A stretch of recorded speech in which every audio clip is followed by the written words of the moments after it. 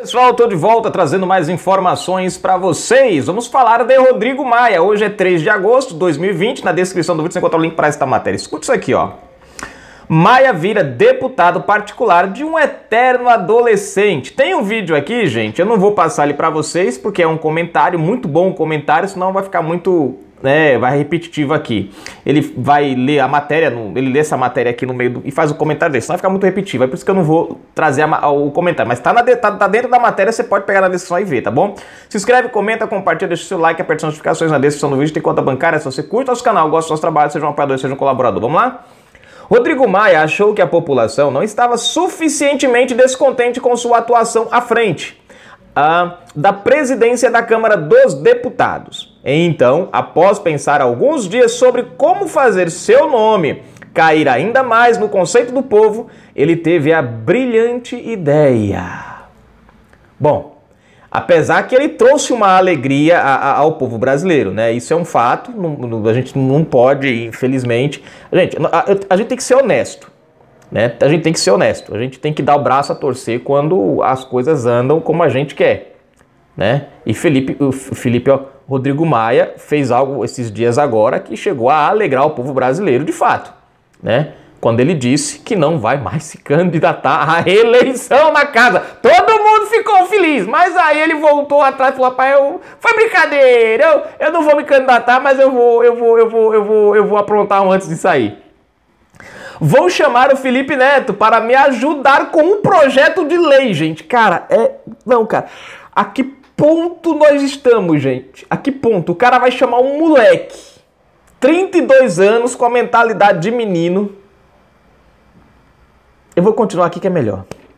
Essa é a única explicação para uma decisão tão miserável do deputado do DM, que fala em prudência e sofisticação enquanto engaveta a destinação do fundo eleitoral para o combate ao Covid-19.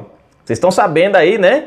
que o, houve um outro projeto aí para o, o, dinheiro do Covid, do, do, o dinheiro da, do fundo eleitoral, né? E ajudar as pessoas carentes. Mas ele prefere chamar o Felipe. É, Felipe Maia. Já ia falar Felipe Maia e Rodrigo Neto.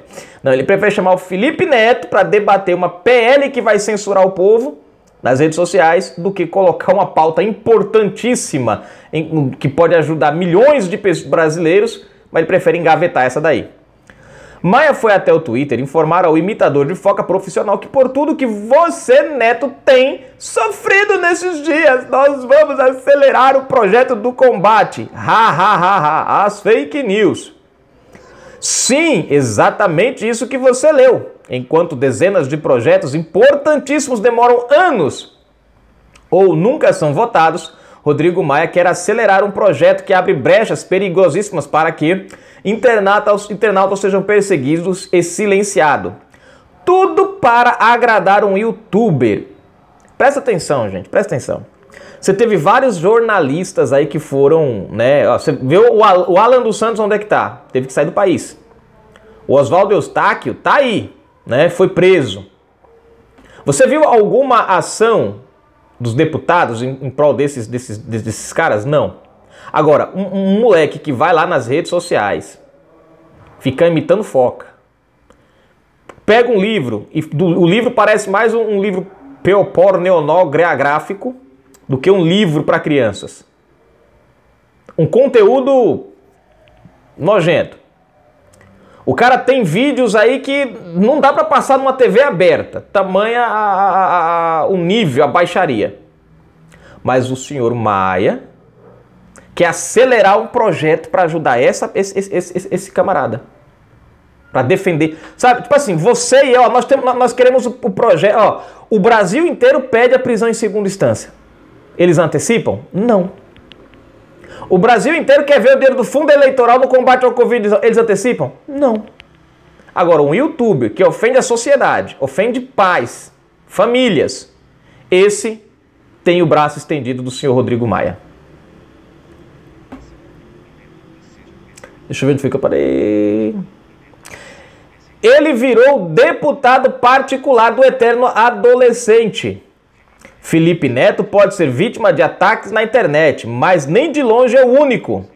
Conservadores são censurados e ameaçados de morte diariamente. Influenciadores de direita têm suas contas bloqueadas pelo STF sem terem sido condenados por nenhum crime. Militantes de esquerda pregam abertamente agressões ao presidente e perfis no Twitter promovem ataques em massa contra páginas que não sejam de esquerda para cortar suas receitas. O próprio Felipe Neto divulgou e comemorou a ação do perfil anônimo Sleep Giants, que chantageou empresas para que essas retirassem seus anúncios dos portais que ousassem dar notícias boas sobre o governo. Não sei se vocês acompanharam isso aí, eu trouxe alguma coisa. Esse era um perfil anônimo que ninguém sabe quem criou e começou aí a criar um terror nas mídias digitais, né? E, e fez com que, muito, como o jornal Cidade Online aqui, por exemplo, perdeu patrocínios porque os caras saíram publicando mentiras sobre o jornal. Mas a gente não viu uma ação do senhor Maia em relação a isso. Onde estava Rodrigo Maia nestes casos? Ninguém sabe. O que sabemos é que o sofisticado presidente da Câmara dos Deputados quer acelerar a aprovação de um projeto de lei com potencial autoritário que deveria ser debatido à exaustão e depois enterrado, não discutido às pressas e empurrado goela abaixo da população como foi feito no Senado. Parafraseando o Barão de Tararé, de onde se menos se espera é que não sai nada que se presta mesmo. E aqui tem uma, o título, tem um canal aqui para quem quiser acompanhar é, deixa eu ver o nome aqui, ó. Frederico Rodrigues, Frederico Rodrigues. Quem quiser entrar aí, gente, né?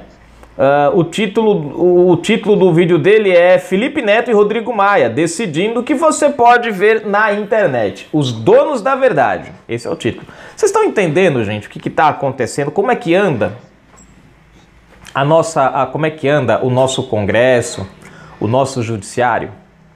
Você tem noção do que é um presidente da casa, da Câmara? Você vê, eu e você não somos chamados para ir lá debater esse negócio das fake news, mas Felipe Neto é. Parece que virou assim, um, um, parece que é assim, você quer, vamos lá. Como é que a gente faz para sacanear o, é, como é que a gente, perdão, como é que a gente faz para sacanear não precisa fazer nada. Ele já sacaneou a gente de natureza já, né? Isso aí não precisa. Agora, como, como é que a gente vai, como é que nós vamos avaliar uma pessoa que é capaz de debater um assunto importante? Como é que eles avaliam? O cara prega alguma coisa contra a sociedade? Prega. O cara prega alguma coisa imoral? Prega.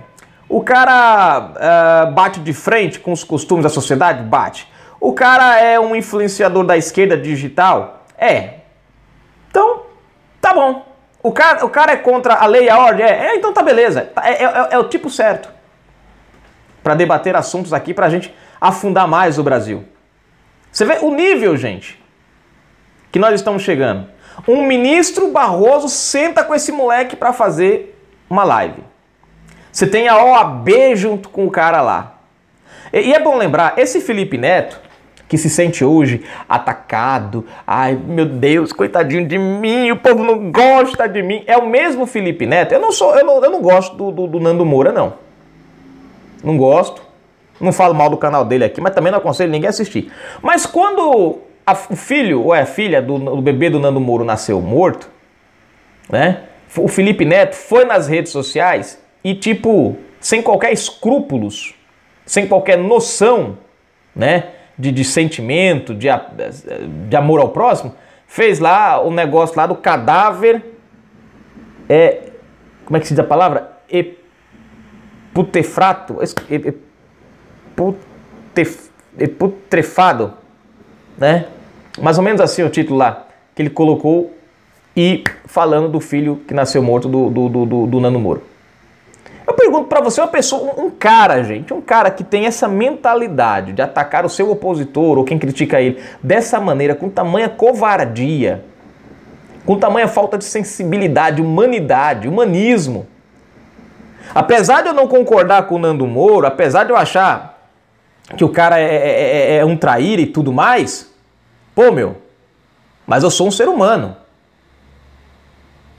Eu jamais iria, sabe, zombar de uma perda dessa de alguém. De quem quer que seja. E o Felipe Neto fez isso. Mas nenhum momento o cara assim. Não, você viu alguém dizer que o cara. Não. Esse é o influenciador que vai debater fake news. Esse é o cara que o ministro Alexandre uh, Luiz Roberto Barroso sentou junto com a OAB, não sei quem mais, a ABI, o raio que o parta, para fazer uma live. A ABI está defendendo ele, o, o, Felipe Neto. A ABI defendeu o, o, o Nando Moro quando o Felipe Neto foi lá e fez essa palhaçada, essa. Não. A ABI foi, por acaso, que é a Associação Brasileira de, de, de Imprensa, foi defender o, o, o Alan dos Santos? Não. Foi defender, por acaso, o Ostáquio? Não. Defendeu o Ricardo Roveran das contas? Também não. Então, tá aí, gente. Clara, limpo cristalino. Aí de a, a, a, a, partidarização, a, a ideologia partidária dessas entidades, OAB, ABI e outras e outras aí, que falam em nome de democracia. É igual o Maduro e o, e o, o como é o nome dele? É o Maduro. Me fugiu o nome lá do presidente da Nicarágua agora. Meu Deus. Bom, os dois fizeram agora esses dias atrás aí, comemorando os 30 anos do Foro de São Paulo, e os dois falaram em democracia, em liberdade, em povo. Agora, os dois estão oprimindo o povo. Os dois estão, os dois caçam falar em liberdade de expressão, os dois caçam a imprensa dentro dos próprios países. Os dois, eles falam em eleição, inclusive ele se gabou que vai ter eleição agora de novo. Lá na, na, na o Maduro se gabando que vai ter eleição de novo agora, né? Em, em dezembro, novembro, sei lá, né? Os dois mandam prender e exilam opositores que concorram, que têm chance de ganhar as eleições deles. É a mesma coisa da gente estar tá vendo isso daí. Eles, as, as associações defendem uma coisa que eles não praticam. Que se fossem honestos, também estavam defendendo os outros jornalistas que foram caçados aí. O único problema é que eles são de direitas, de direita. Esse é o problema. Por isso que não merecem a democracia nem direito a nada, né? Mas tá bom. Canal Brasil Notícias, a gente fica por aqui. Tá aí o senhor Rodrigo Maia.